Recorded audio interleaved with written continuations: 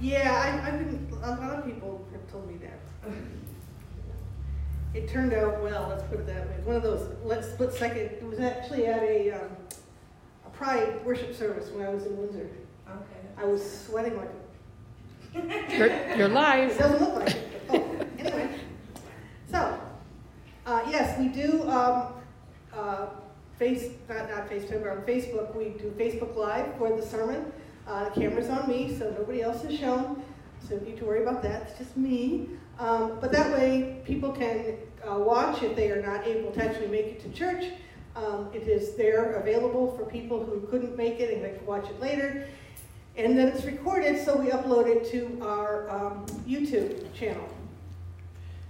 And that's all about Barb. Yes, thank you, Barb. She, does, she takes care of all that technical stuff. Thank you. So, will you pray with me and for me? Holy One of Hope, may we recognize your presence all around us. May we rest in the hope you give us and the promises you have made to us. In all your names. Amen. Amen. So today is not just the first day of December, but it's the first day of the church year. Uh, we begin with Advent, which is that time before Christmas, as I mentioned, uh, when we uh, prepare for the arrival of Jesus.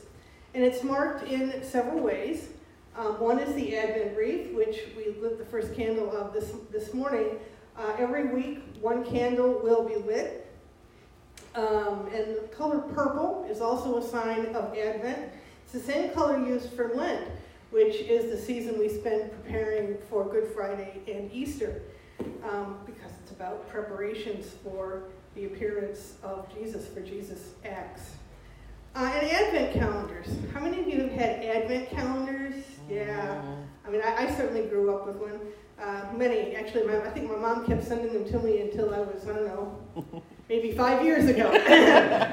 um, but they originally opened to reveal Bible verses telling the Christmas story, right? So usually the, this Annunciation, the appearance of Gabriel, was around the first, and, and it went on through the story until East, until Christmas morning.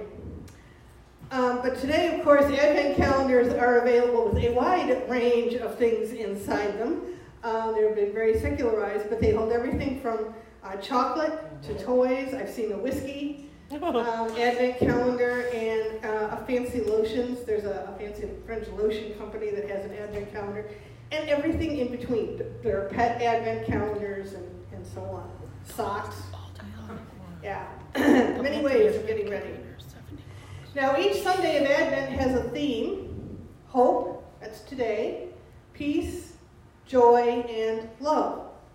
Um, so today it's fitting that the theme is hope, uh, because hope is the foundation of our longing for Jesus' birth, and also as we observe World AIDS Day, we hold out hope for a cure, for better treatments, for a vaccine to prevent HIV/AIDS. So, as uh, Roxanne said, hope can be defined as a looking forward with an expectation of something better to come. Hope for a cure and or a vaccine and or better treatments for HIV/AIDS. Hope for a better world with enough food and medical care and clean water and safe places to live for everyone with understanding and mutual acceptance and peace, peace on earth. What does hope look like for you? I know I have hopes, things and events and situations that I hope to see or experience, not only for this Advent and Christmas, but in the coming months and years. Think of those hopes of yours for a moment and how they could be realized. What do you think hope looks like for people who are not like you? For people of another race? For underemployed people? For incarcerated people? For children? For immigrants? For undocumented people? for the people of Syria or Afghanistan or Ghana? for indigenous peoples of the world, in the US and Canada, in Hawaii, in New Zealand, Brazil, Australia.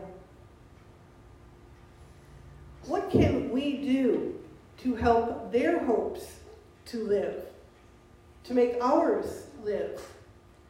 Because that's how hopes become reality, is that people take action. And sometimes that means money and financing, for example, for medical research, for agricultural research. And sometimes it means education, to create and encourage respect for the faith and traditions of others and to understand those faiths and traditions. Sometimes it just means empathy and connection for support for people who are incarcerated with letters, calls, cards, as we did at our um, card party a couple of weeks ago. It means listening to children and offering a welcome to newcomers. All these actions of reaching out across what seem to be barriers between us, that's hope. That is hope in action. Sometimes concrete and decisive actions are needed rather than the long term ones of research and education. For example, telling your, your representatives that peace and reconciliation are important to us and affect how we vote. Or making those phone calls and sending those emails. It could also mean providing safe space for children and youth to be themselves. We know that a large proportion of homeless youth are LGBTQ+, thrown out of their family home or made to feel unwelcome. We all need hope, and we can offer hope to others.